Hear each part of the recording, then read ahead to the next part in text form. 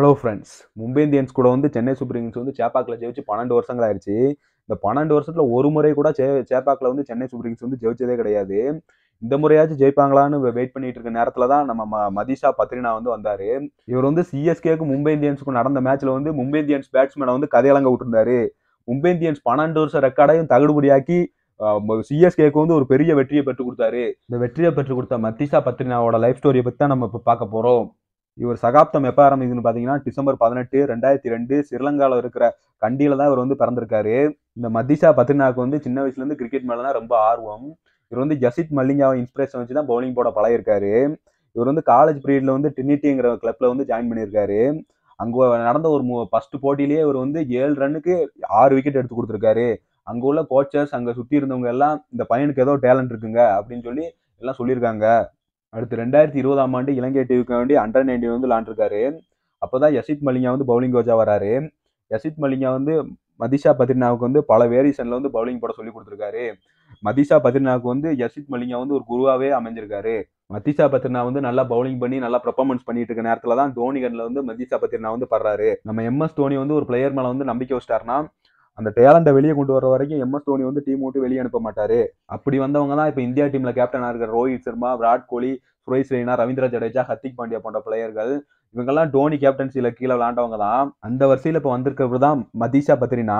அவர் டேலண்டை பார்க்குறாரு பார்த்தோன்னே அவருக்கு பிடிச்சி போயிருச்சு. அவர் அவர் அவரை எப்படினாச்சும் டீம்ல எடுத்துடணும் அப்படின்னு நினைச்சிட்டு இருந்த நேரத்துல தான் ஆடம் மேலன் வந்து இன்ஜுரி ஆகி வெளியே போறாரு. இதுதான் ஜாக்குன்னு ம மதீஷா பத்ரினா வந்து நம்ம சிஎஸ்கே டீமுக்குள்ளே கொண்டு வராங்க.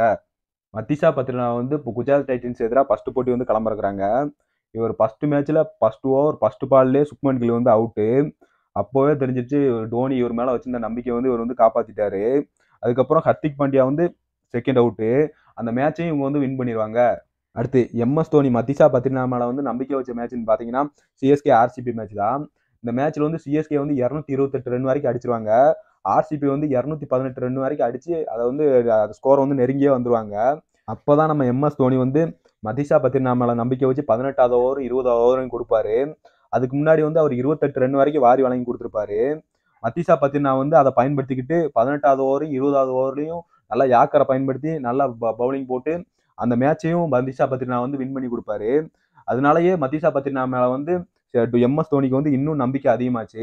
இந்த மேட்சுக்கு அப்புறம் குட்டி அசித் மல்லிங்கான்னு மதிஷா பத்ரினா வந்து ட்விட்டர்ல ட்ரெண்டிங் ஆனாரு. இப்படி மதிஷா பத்ரினா வந்து நல்லா பவுலிங் போட்டுட்டு இருக்க நேரத்துல தான் மும்பை இந்தியன்ஸ் கூட வந்து ஒரு மேட்ச் வருது.